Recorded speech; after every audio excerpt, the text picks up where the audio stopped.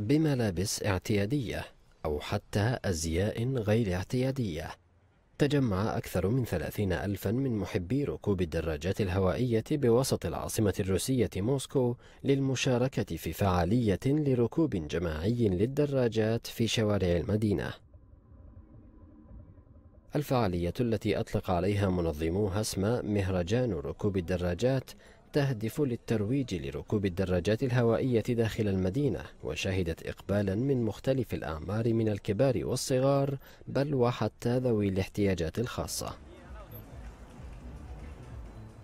واستعرض العديد من المشاركين مهاراتهم في قيادة الدراجات أو حتى استخدام أحذية التزلج الباتيناج في حين تبادل آخرون أطراف الحديث وهم على ظهور دراجاتهم.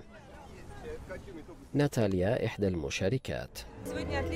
الطقس جيد والمعنويات مرتفعة لذا قررنا تحسين الحالة المزاجية للجميع بمن فيهم أنفسنا.